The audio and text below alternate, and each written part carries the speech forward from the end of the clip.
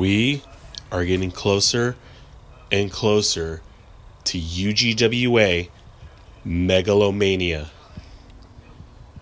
You know, a lot of people have been asking me, Am I 100%? Am I ready? I'll admit it. I'm not 100%. But I am ready. Because see, Scorpion, you're not the first to try to take me out. Many others before you have tried. Sin has tried taking me out. Lockjaw has tried taking me out. Hell, even my own tag partner Van Andrews has tried taking me out.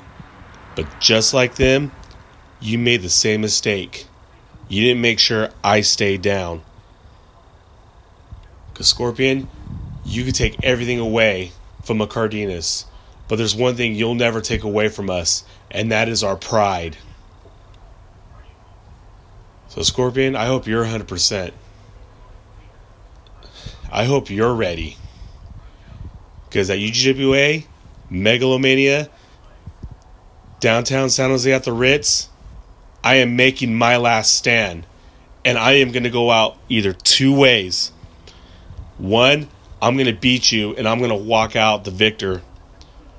Or two, you're going to beat me and leave me flat on my back. So I hope you're ready because this is going to be the biggest match of your life.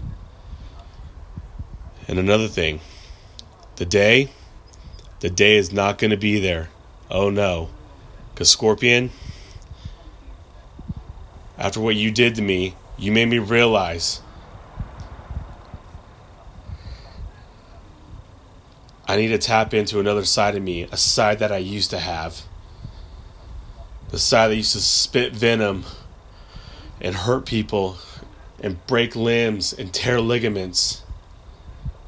So, megalomania, something darker is coming.